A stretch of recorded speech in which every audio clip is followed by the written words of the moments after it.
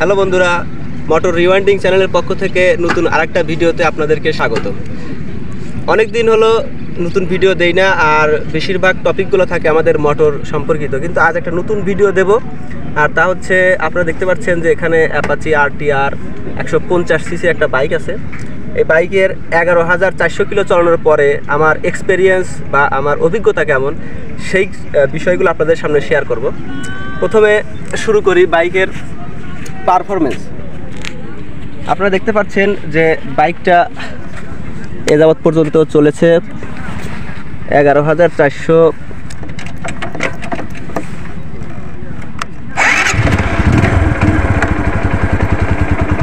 এগারো হাজার চারশো অষ্টআশি, পয়েন্ট ফোর কিলোমিটার।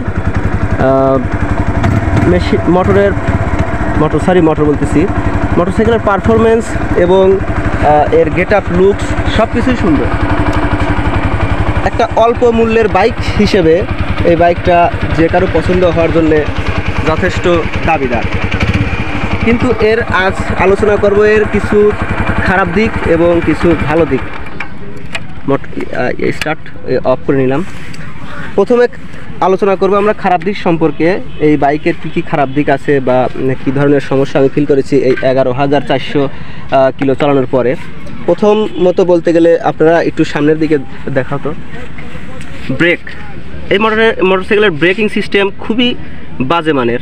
ডিস্ক ব্রেকটা অল্পতেই এই মাত্র এগারো হাজার কিলোতেই কেমন দিন একটা দাগ পড়ে গেছে। আপনারা দেখতে পাচ্ছেন হয়তো ভিডিওতে অতটা আসতেছে না।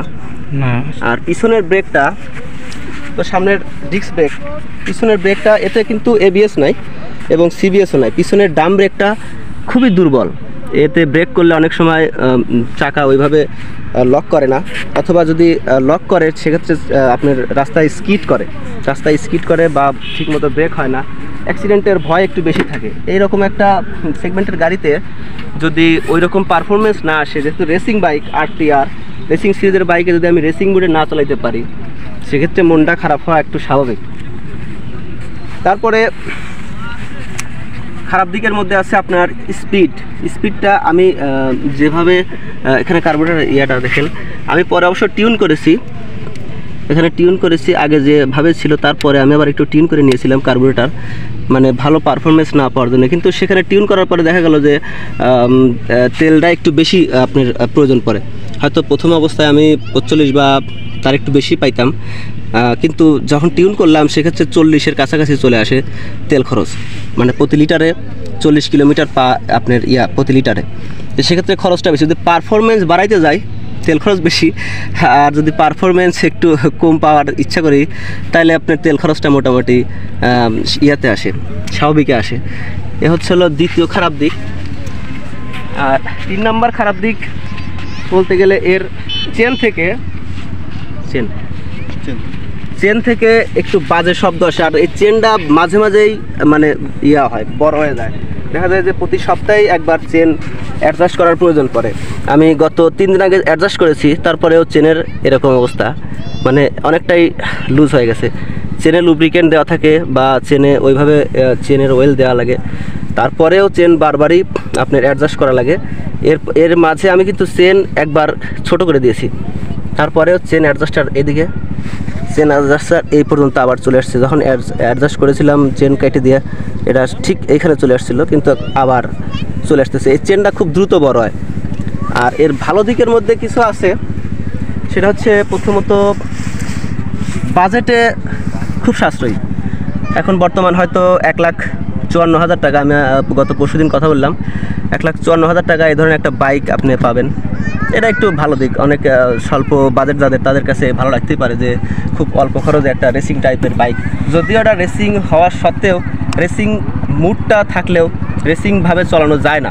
আমি আবার বলতেছি রেসিংভাবে চালানো যায় না কারণ এই রকম স্পিডে চালাইতে গেলে পরে অ্যাক্সিডেন্ট করার সম্ভাবনা খুবই বেশি। আমি সবসময় নর্মাল স্পিডে চালাই। নর্মাল স্পিডে চালাই কারণ ওইভাবে চালাইতে গেলে পরে সাধারণতই সমস্যা হয়ে যায়। ভয় থাকে, নিজের মনের মধ্যে একটু কমফোর্ট ফিল কম লাগে। খুব একটা যে ওই রকম আহামরি কিছু তা করা যায় না।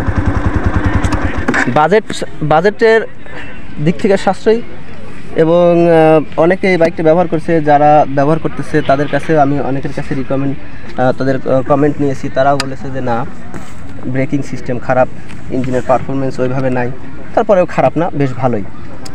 ভালো দিকের মধ্যে আরেকটা দিক হচ্ছে হলো অন্যান্য রেসিং বাইকের তেল খরচটা যেভাবে হয়, সেটা হচ্ছে আপনার তিরিশ কিলো পার লিটার এরকম। কিন্তু এই বাইকটাতে তেল খরচটা ওইভাবে না, একটু কম আছে।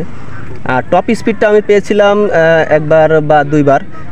একবার পেয়েছিলাম, তখন ইঞ্জিন টিউন করা ছিল।